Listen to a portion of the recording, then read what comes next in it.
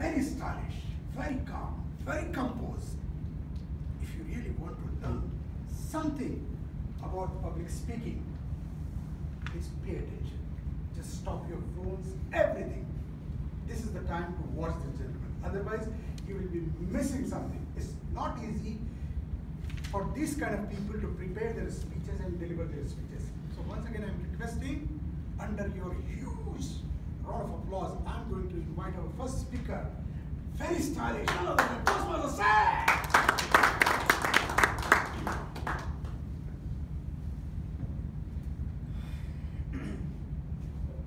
Preassumptions is the mother of ignorance. Sometimes find the courage to question your well-established notions. Respected Toastmasters and distinguished guests. Samsung Galaxy Tab S1. You heard me correct. Samsung Galaxy Tab S1.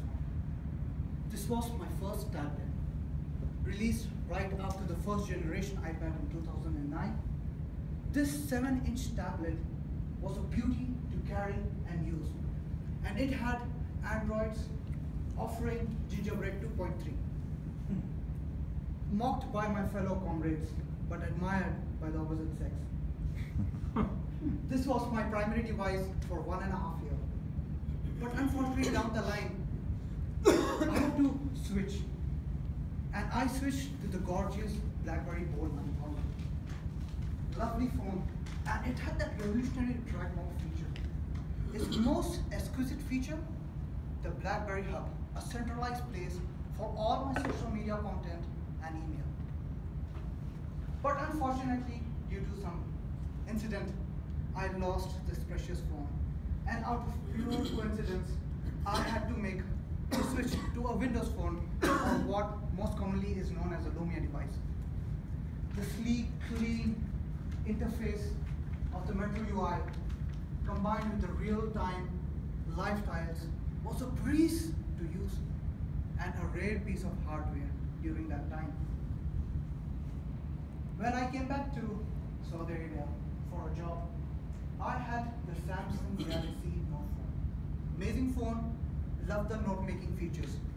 So in eight years, I had four devices. The devices that I loved and cherished was the Windows Phone and the BlackBerry phone. Now here's the controversial part, and I might receive a lot of hate for this. But the phones that I hated, Samsung. Why? well, for starters, they were a colossal in the long run. The UI was unresponsive after a period of use. The devices had pre-installed bloatware, and to my great agony, I couldn't uninstall them. Some apps had the same function. You had two gallery apps, you had two camera apps, two email clients, two music players, even two play stores. And that meant conflict of roles, and my phone periodically freezing up or its frame rates dropping. That was my experience with Samsung. And also, as a user, I could never enjoy the latest security updates or the new features of my Android rollout. It would take months for my device to receive, receive those features or Samsung's eye would be for its new device on the horizon. Now some of you might be like, oh no, this is Apple fanboy talk. Except I'm not endorsing Apple here. The biggest problem in communication is that we listen, not to understand, but we listen only to reply. So hear me out here.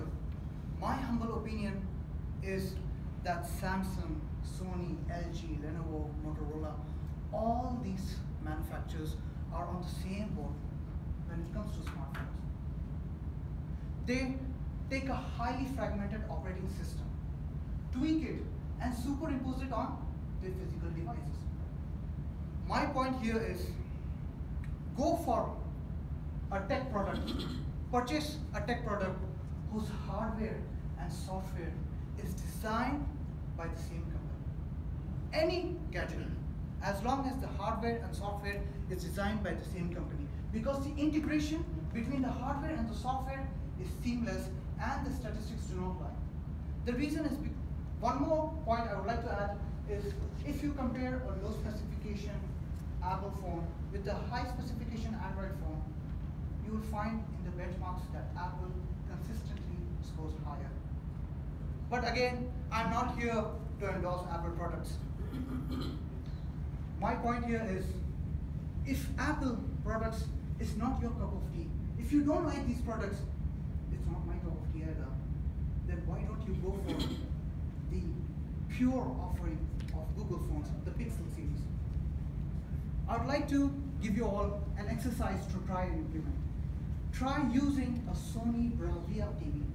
Its software is custom designed by Sony itself. The performance is sleek and fluid. Now try using a smart TV which is an Android TV. Lots of bug and sluggish performance. I can cite countless examples. Microsoft Surface tablets and laptops are far better than the conventional brands such as Toshiba, Lenovo, or Asus. They even outperform the Alienware models. You can see the gaming exclusive games like the Halo series, The Last of Us, The Killzone are far superior gaming titles than their conventional counterparts. You can also notice that the Tizen software in a Samsung wearable ensures that Samsung has the best smartwatch. It's not Apple Watch, so Samsung is somewhere in the list. Even car manufacturers such as Dodge, Mercedes, Bentley, Tesla, all custom build their software and pre-install it in their fleet of cars. What's common between all these things is they outperform and outlast. It's really a matter of your choice, what your priorities are.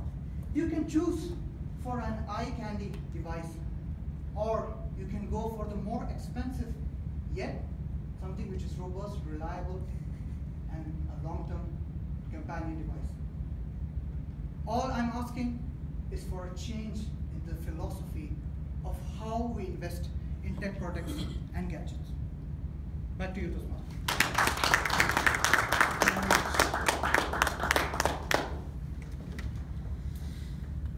I have recently bought a television, but it is not Sony, something else.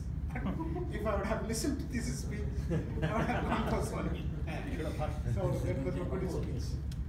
Very informative, isn't it, gentlemen? If you think it was very informative, please give him a